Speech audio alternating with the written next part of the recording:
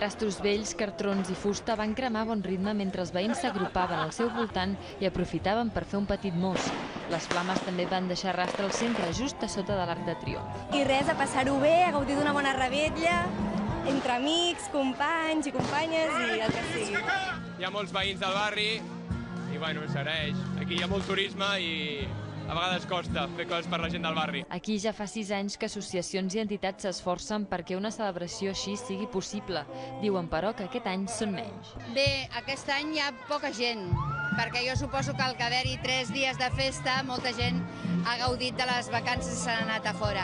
Els barcelonins de la zona van sopar plegats i finalment la trobada va deixar pas als concerts i a la gresca. Escolta, quins ulls que tens. Fes, No. fes allò dels ulls que els hi fas amb les noies. Fes, fes. Lo important és que com- com ell és l'organitzador, és l'organitzador. Ha, ha, ha acabat reunint 66 persones.